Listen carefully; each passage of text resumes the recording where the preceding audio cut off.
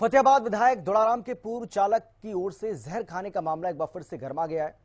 पूर्व चालक और उसके परिजनों, ग्रामीणों ने विधायक के घर के बाहर धरना दे दिया, रोड जाम कर दिया उन्होंने विधायक के पीए पर कई बड़े आरोप जड़ते हुए उनके खिलाफ नारेबाजी की है। चालक का कहना है कि विधायक द्वारा उस पर दबाव बनाने और उसके परिवार को खत्म करने की धमकी देने के बाद उसने अपने बयान पलट दिए थे। लेकिन जो सुसाइड नोट में लिखा था, वो सब सच था।